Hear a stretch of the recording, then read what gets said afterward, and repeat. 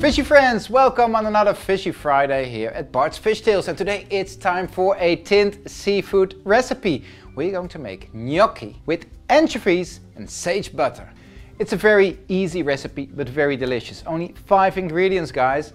Um, first ingredient is anchovies. So what we do, we get rid of the oil. So the first possibility to have them less salty is under cold running water. You rinse them under cold running or lukewarm water. Another possibility, and it gets uh, uh, even a bit more or less salty, a bit smoother, is using some milk. So what I'll do, I have my anchovies uh, fillets for maybe like 10 minutes in some milk. And I'm using a whole tin, around 45 grams. So I leave the anchovies here. We're going to make sage butter. And to make the sage butter, I'm first going to clarify butter. I've got 125 grams of butter right here and I'm going to have it in a little saucepan on low to medium heat.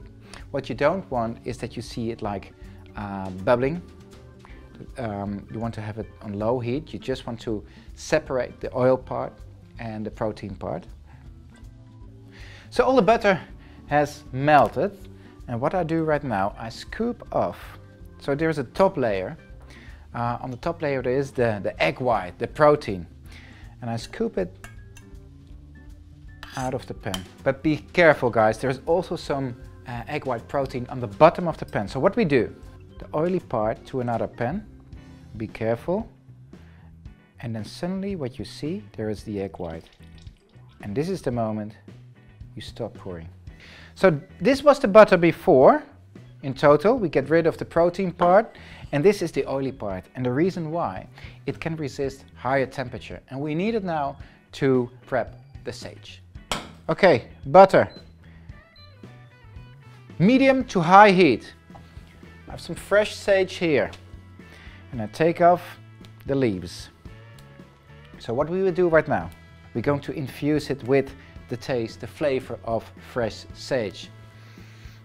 Wonderful. So I add the sage, the fresh sage, into the butter and I'm going to make the leaves crispy. Takes a few minutes. Okay, then we take the leaves out and you drain them on a piece of kitchen paper. Nice, crispy. So the beautiful flavor of the sage has infused into the oil. So we have created sage butter. Now we're going to make the gnocchi. I've got some boiling water, salted bo boiling water right here. I'm going to cook the gnocchi in around two minutes. Into the pan. Meanwhile, we're going to drain the anchovies. So they're a bit milky now, but that's not a problem. It even gives a bit of extra flavor to the dish. And what you see after a few minutes, the gnocchi are coming to the surface. Then I give it another two minutes and the gnocchi will be perfectly cooked. So I roughly chop some parsley leaves Gnocchi is ready, so I drain it, bring them back into the pan. I'm going to add the anchovies into the butter and I add these, bit of parsley and some black pepper. I'm not using salt because the anchovies is already quite salty. Beautiful. Some sage leaves and I saved some anchovies fillets as a garnish. Time for a taste. Gnocchi, tinned anchovies, sage butter. Mmm, mm, it's lovely. It's the softness of the gnocchi with the, we have the crispiness of the sage, the creaminess of the butter and the saltiness of the anchovies. It's a great recipe, simple to make, quick to make. Um, if you have any comments, any questions, leave them down in the box below. Don't forget to subscribe and hope to see you soon back on another Fishy Friday. Hey, hey, doe je die na of niet?